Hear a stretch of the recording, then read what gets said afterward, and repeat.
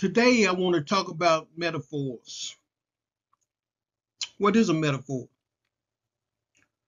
A metaphor carries a shared quality, a characteristic across two things or concepts of different natures.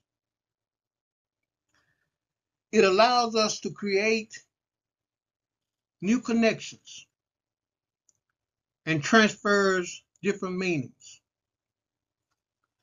It can help people understand an idea more clearly. It can show us that something is a symbol of something else. They're used to add emphasis or color to the point that it's trying to convey.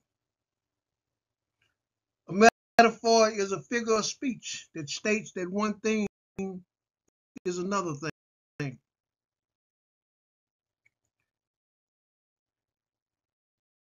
It is used to make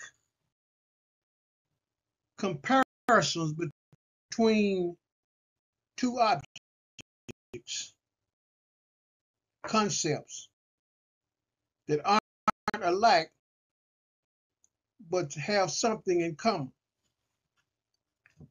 Take for example, the serpent in Genesis 3. We look at it as being a snake. It's part of the earth family. But humans look at it as something that's dangerous and bad and crawls on its belly. Most of us are just plain scared of them. We don't want them around us or any part of our species because of their reputation. That if they bite you, it's lights out. We perceive it as a destroyer.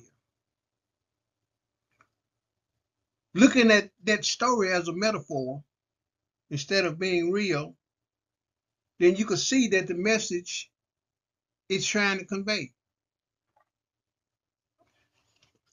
In this metaphor, the serpent is the ultimate salesman. The man fell from grace, and he had been falling more and more ever since. He has given up his place of dominion, and he is causing others to do the same thing. That same serpent is operating today. Metaphors are great in that it can make you say one thing, but the meaning is something else. Looking at this metaphor. A 90 year old man goes to his annual checkup and he is proud of himself. Happy he was bragging to his doctor that his 20 year old wife was having a baby. He was so excited that he would be a father despite his age. The doctor just listened to the man's excitement and then he told him a story. He said, I know a man who was a hunter. He had gone hunting every season.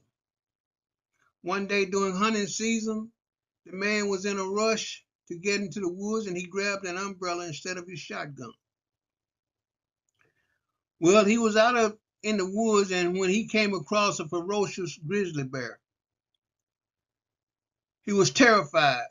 He raised up his umbrella and pointed at the bear, trying to scare it away. He closes his eyes and squeezes the handle tight. Boom! The bear drops dead from the gunshot wound to the head. The man That's impossible. Someone else must have shot the bear. The doctor paused and said, Exactly. Somebody should have shouted.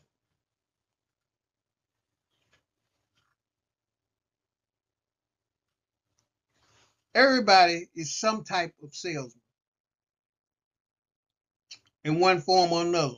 The salesman is the cause and not the effect on everyone under his or her influence, but is the effect of those that influences him or her.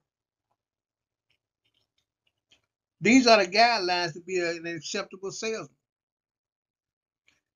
It's not because it's not about the salesman, but it's about the person that you are selling to.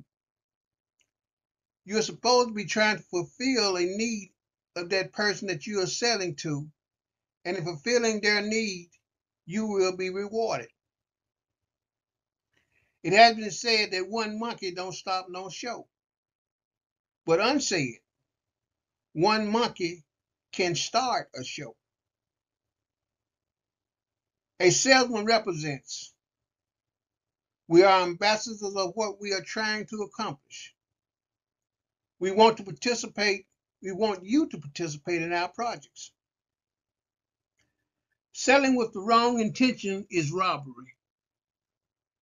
In Leviticus 19 35 and 36 states that ye shall do no unrighteousness in judgment, immediate, in weight, or in measure.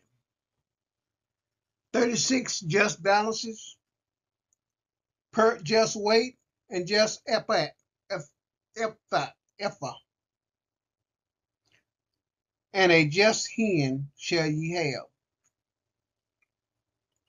So honesty is the best policy. When you promote a person, place, or thing, you are a salesman and you are supposed to be standing behind what you're selling. In the, medi- in the metaphor in Genesis 3, the serpent was looking to better his or her life, not the ones in the garden. Salesman is cause.